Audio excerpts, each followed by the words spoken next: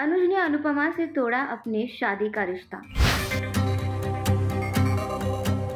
अनुपमा के पैरों तले खिसकी ज़मीन। दूसरी शादी भी टूट गई अनुपमा की। क्या करेगी अनुपमा?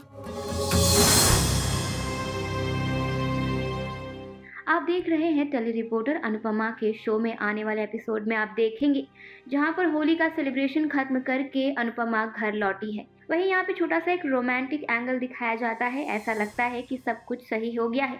अनुपमा अनुज से कहती है कि जितनी भी भड़ास उनके दिल में है, वो सारी चीज़ें बाहर निकाल दे और सब कुछ बोल दे। अनुपमा अनुज के इस हरकत को देखकर काफ़ी ज़्यादा हैरान हो जाती है। अनुज का मुँह खुलता है और उसकी बातें सुनकर अनुपमा को होश ही नहीं रहता। अनुज ने कहा है कि क्या कहूँ, जब हमारा रिश्ता ही नहीं रहा तो मैं दिल की बात तुमसे क्यों करूँ? इस रिश्ते का अब कोई वजूद ही नहीं है।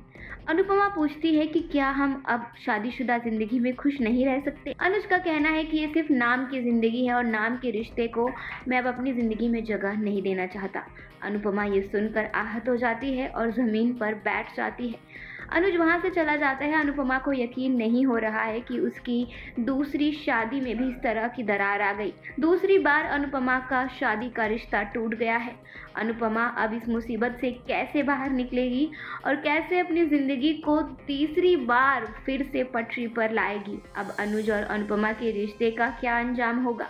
इस नए ट्रैक को लेकर आपकी क्या राय है? हमें कमेंट सेक्शन में ज़रूर बताएँ।